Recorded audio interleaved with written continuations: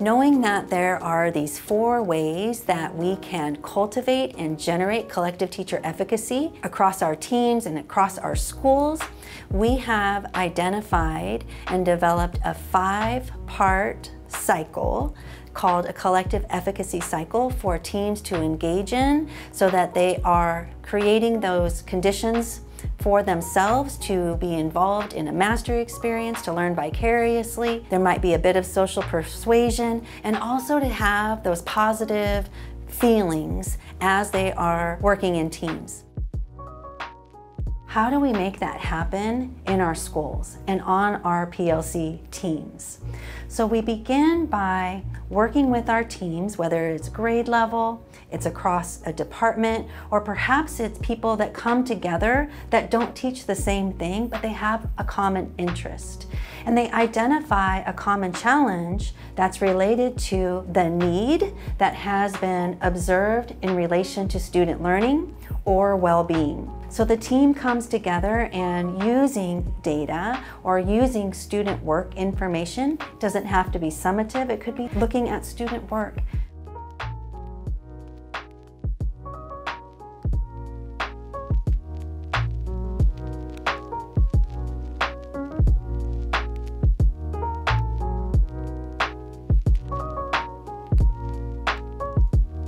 So we begin by building our own knowledge and skills around that evidence-based strategy.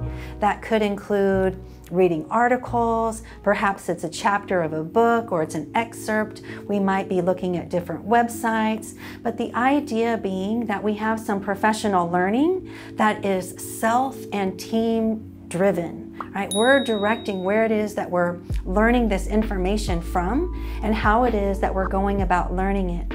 Because we know from the research that it takes between 20 and 50 separate instances of practice in order to master a new strategy. So we need to give ourselves time to practice that strategy with students, right? Before we start getting feedback on our implementation of that strategy. So while we're practicing that with students, we call that the safe practice aspect of the collective efficacy cycle.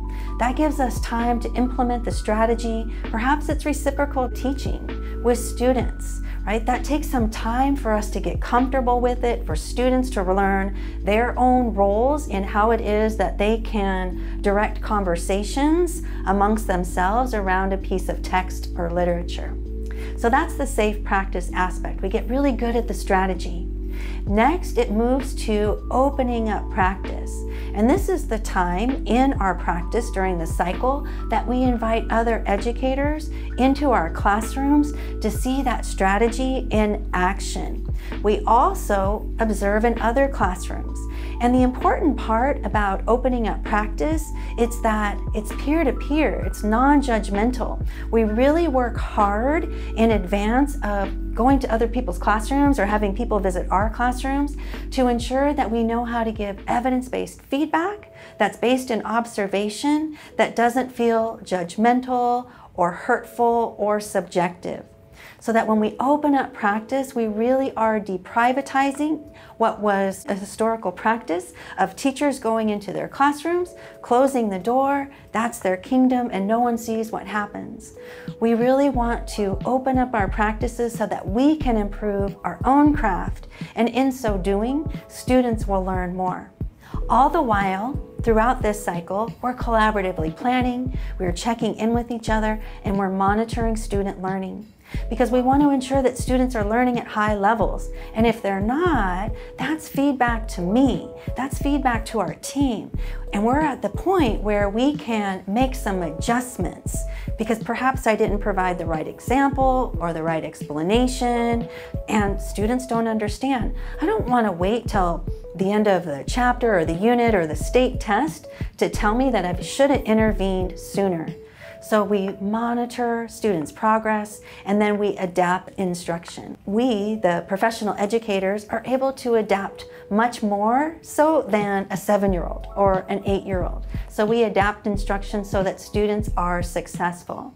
And then finally, as the collective efficacy cycle is coming to a close, it had an introduction beginning with that common challenge and it comes to a close when we revisit that common challenge and we take stock of student learning.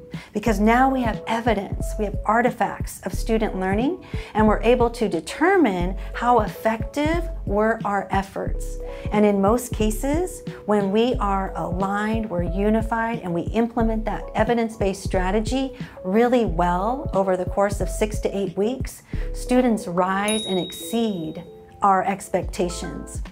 And we can celebrate that, right? We have something that we can celebrate teachers' efforts because we have evidence of student learning.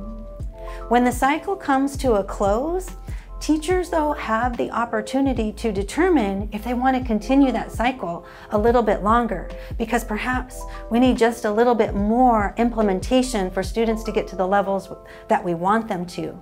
Or perhaps we say, you know what, that worked really, really well, and we're excited for that next common challenge.